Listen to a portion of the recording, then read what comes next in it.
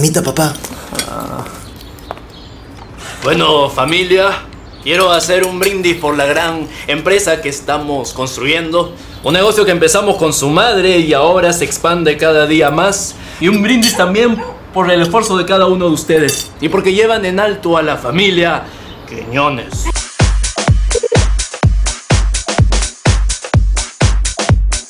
El concepto inicia desde más o menos cómo se comporta el target, ¿no? El target eh, lo que hace al, principio, bueno, tiene su negocio o trabaja, y lo que hace al principio es construir, ¿no? Construir un primer piso, este, por ahí que no, no pinta mucho, tiene cemento pulido, o solo lo deja con ladrillo, luego le empieza a ir mejor, construye un segundo piso, y ya cuando tiene más o menos la casa construida, ya como un tercer paso es donde él decide pintar, ¿no? Entonces, se asocia mucho la pintura en el target como símbolo de éxito. ¿no? Eh, quisimos un poco llevar el concepto hacia dentro de, este, de, este, de, estas personas, de estas familias, pasan cosas. ¿no?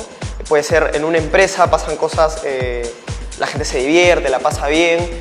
No quisimos llevar simplemente al éxito como el éxito monetario, en donde una empresa crece, le está yendo bien, este, vende mucho más o se está ampliando, sino también desde el lado emocional. ¿no? Y el otro motivo, este, que también quisimos llevarlo a la familia, donde hay una familia unida, una familia que trabajan juntos con un negocio este, familiar y donde también igual, pues no la pasan bien, hay un buen ánimo. Entonces, si todo esto pasa emocionalmente dentro de una casa, o sea, ¿por qué no demostrarlo por fuera? Como tener la pintura como un elemento que te puede, que puede mostrar al resto que tu familia, tanto en crecimiento económico como en crecimiento emocional, les está yendo bien. Entonces, si a una familia o a un trabajo le va bien por dentro, ¿por qué no lo demuestras por fuera pintando con fast? Básicamente era refrescar eh, la campaña que había venido el, del año pasado, que también estaba apalancada por el éxito.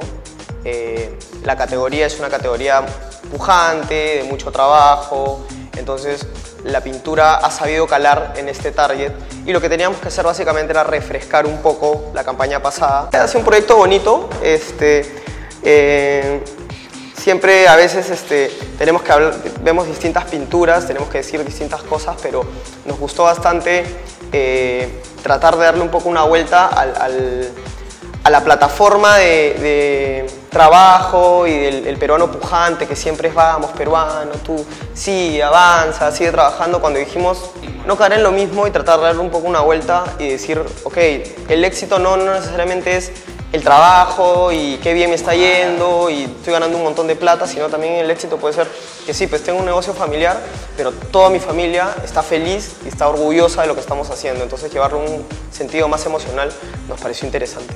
Ha sido un proceso bastante largo desde que empezamos a trabajar con él. Eh, yo desde Madrid y, lógicamente eh, Rebeca y Alejandro desde, desde aquí, desde Lima. Es un trabajo básicamente de casting y es un trabajo también de, búsqueda de unas localizaciones que lógicamente dieran luego una atmósfera para que eso no fuera, no, no, no fuera exactamente un, documental realista de lo que queríamos sacar, sino que también tuviera una envoltura eh, estética interesante. ¿no? Respecto al de Brindis, eh, el, tener una familia, una familia numerosa, una familia numerosa eh, en el que encajara con, el público objetivo al que iba, con la casa donde tenía que estar, pero también con un nivel de, diálogo y de actores que funcionara y que de alguna manera esas 8 o 9 personas que están ahí eh, se parecieran, ¿no? Un poco, tuvieran como, se contaminaran, no es que tuvieran que ser iguales, ¿no? Como clones,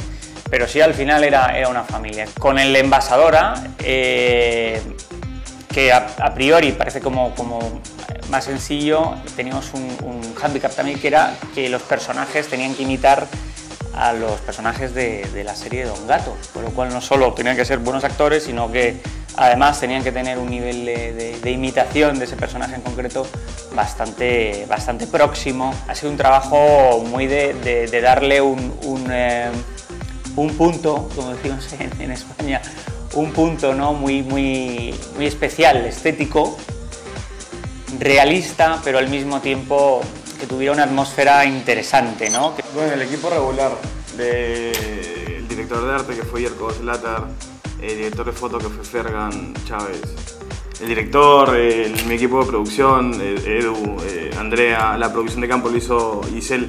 En realidad es un súper buen trabajo con el tema de locaciones. Como dice Miguel, este, esa, esa parte de representar el target, pero, pero de una manera armoniosa no fue nada fácil. Eh, hubo una investigación previa para entender muy bien a qué queríamos llegar, que era como un punto de inicio de esta es la realidad, ok, ahora hagamos que esa realidad se sienta aspiracional, se sienta eh, armoniosa, por decirlo de alguna manera. La experiencia ha sido muy, muy buena, lógicamente ha sido muy positiva. No creo que la manera de trabajar sea distinta en Lima que en Pekín, que en Madrid. Es decir, que al final hay un sistema muy homogeneizado en todos los, en todos los lugares. Y, y yo creo que más allá de cómo es profesionalmente, yo creo que aquí lo importante es, eh, es un tema de feeling y es un tema de conexión y de entendimiento con, con los equipos. O sea, yo creo que uno trabaja, eh, puede trabajar mejor o peor, no independientemente del sitio donde esté, en función de cómo, de cómo conectas con los equipos, de cómo es esa comunicación y ese entendimiento. Y aquí la verdad es que eh, Alejandro y todo su equipo lo han, lo, han, hecho muy bien y ha sido todo como, como muy fluido. Yo creo que ese es el truco para, para conseguir yo creo que los comerciales han quedado bastante bien, el cliente está satisfecho, la agencia contenta, nosotros también. Este, ¿Cómo viene Rebeca? Rebeca viene bastante bien en realidad, este mes ha sido un mes intenso. Eh, Miguel vino a rodar esto de Fast a rodar un comercial con Jana Rubicam que está en pleno proceso de producción. Hemos filmado también con Alan Batieski tres comerciales para Leo Burnett, Bogotá. Eh, hemos terminado de rodar hace tres días. Eh, un proyecto que está muy bueno, está muy divertido, ya, ya, lo, ya lo compartiremos cuando, cuando esté listo. Este, y febrero viene con, con, varios guiones en proceso aún, o sea, la verdad es que está todo bastante bien.